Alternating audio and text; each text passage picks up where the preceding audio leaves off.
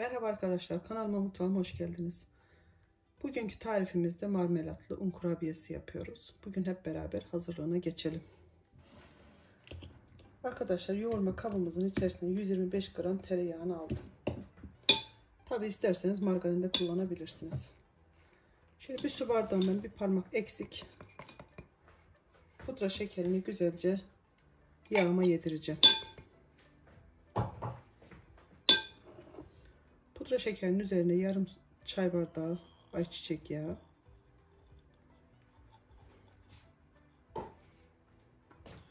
Şöyle bir pakette şekerli vanilyamızı ekleyip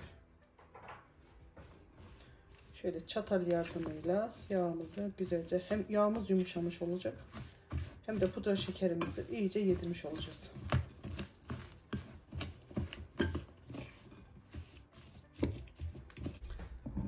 Şimdi pudra şekerini, vanilya şekerini, sıvı yağ ve tereyağımı güzelce çatalımla eze eze karıştırdım.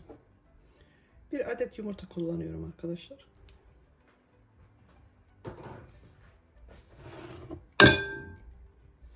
Şöyle bir su bardağı nişasta.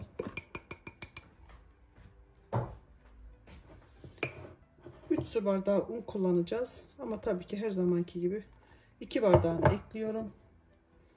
Son bardağımı kontrol olarak ekleyeceğim. Şimdi hamurumu elimle yoğuruyorum.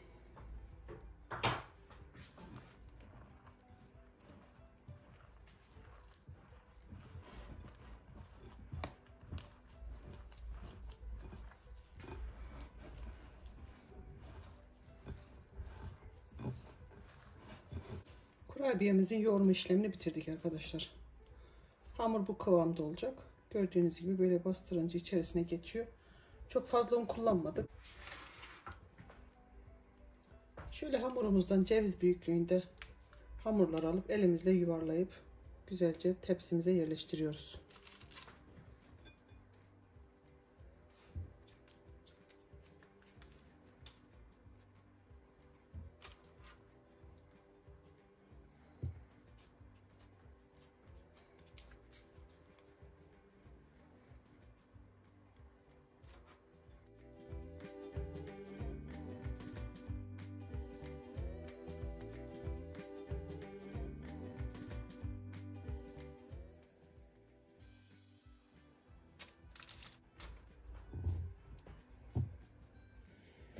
Arkadaşlar kurabiyelerimi şekillendirdim.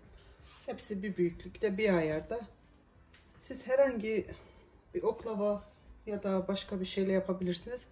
Ben şöyle patates soyacağımla ortalarını hafiften çukurlar açıyorum. Marmelat dolduracağım yerleri. Çok fazla bastırmadan kurabiyelerimiz parçalanıp çatlamadan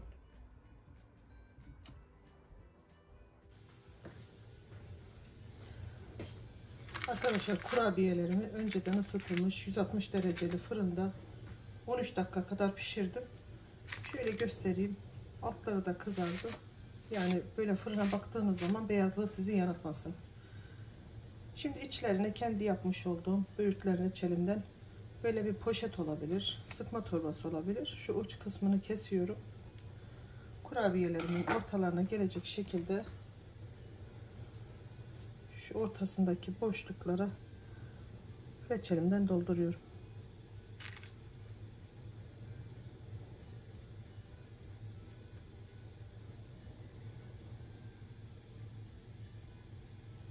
Dolduruyorum arkadaşlar.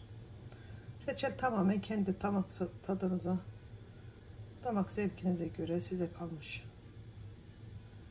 Ben kayısı reçeli ve böğürtlen reçeli doldurdum. Arzu edenler çilek reçeli, vişne reçeli de kullanabilirsiniz.